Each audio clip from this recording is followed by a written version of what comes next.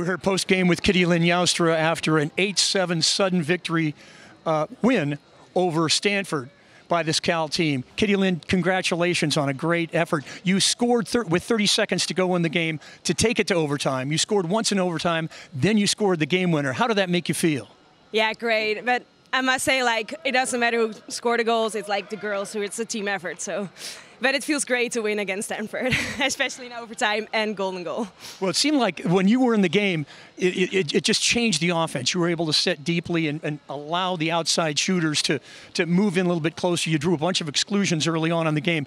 How does your role on the team impact everybody else? Yeah, I'm a center and like a 100% pure center, so that's my job, offense.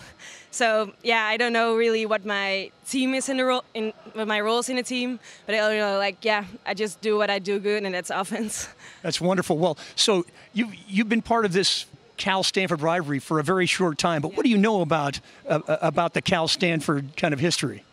Yeah, I know everybody was stoked this week, and we were just like, yeah, we just want to beat Stanford, and you know, it's you really feel the the rivalry rivalry in on the campus and just everywhere. So. Yeah. Well, you were nails on the offensive end, but your goalkeeper Madison Tag played a tremendous game. Talk about how she did. She did great. I yeah, she was. I don't know what to say. She was amazing. She was like our last stop, and she she stood up. What seems like eh, whenever whenever she made a save, you guys just grew in confidence, and you felt more and more comfortable with her back there. Is that really the, the way it was in the water? Yeah, yeah. You you know you stop a goal from Stanford, and then you can play offense again. So yeah.